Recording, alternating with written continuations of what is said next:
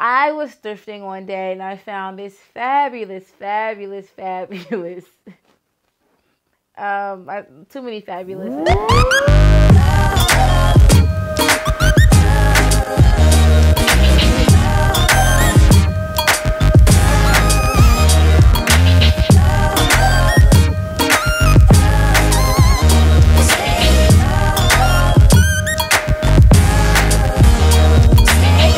Girl, the Handy Home Girl, and I'm here with another fabulous DIY video for you. I was thrifting one day and I found this fabulous uh, Oriental style table at a thrift store in Tucker, Georgia. And when I found this table, I was inspired to do some research on the Oriental decor style. And you know, what's it involved? Like, what type of colors do they use? What what is the sheen? What's what are the, some of the patterns that are used in this in this um, in this decor style, and it's very vibrant and and not out there, but just very bright and rich and rich in color and very vivid. So I'm going to show you how I use also use the Amy Howard lacquer spray paint to get this table to really shine and have this you know very this very lacquer like finish. And it's just a wooden table that I found. So it looks like this. And I turned it into this Um, so what you're gonna need for this project, white primer. If you have a dark colored table um, or dark colored piece of furniture, whatever you're using as dark color, I would suggest using a primer because you are not going to be able to see this bright red, bright color without using a primer. So primer, you're gonna need your color. I used Amy Howard's lacquer spray paint in Brisson Red. And then I used the Amy Howard's Bright Idea lacquer finish. In a couple more videos, I'm gonna actually do a review on this product because I've done two uh, pieces of furniture using Amy Howard's uh, lacquer spray paint. I've done this white table behind me in white perfection. And of course, this project that you're gonna see next. And that was pretty much all I used to do this project. So I hope you enjoy it. Let me know if you have any questions, comments, uh, please subscribe to the channel and I'll see you guys later. Bye. So what I'm doing first, I'm going to wipe down my table with a damp cloth. Uh, you really want to make sure that you get all the dust off so you are ready to spray paint um, and it's just a smooth finish. You don't have any of that grainy stuff going after you spray paint.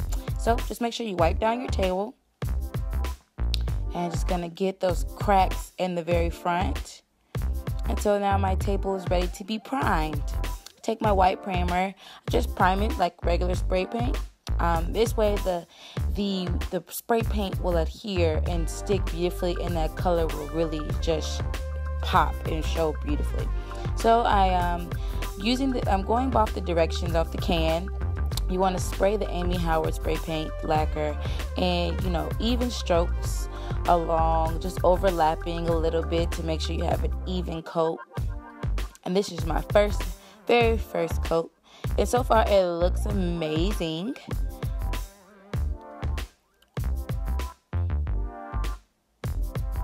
And I took my time on this part because I wanted to make sure that I got everything pretty much covered the first go around so it wouldn't look blotchy, you know, after I let it dry for an hour and then do my second coat.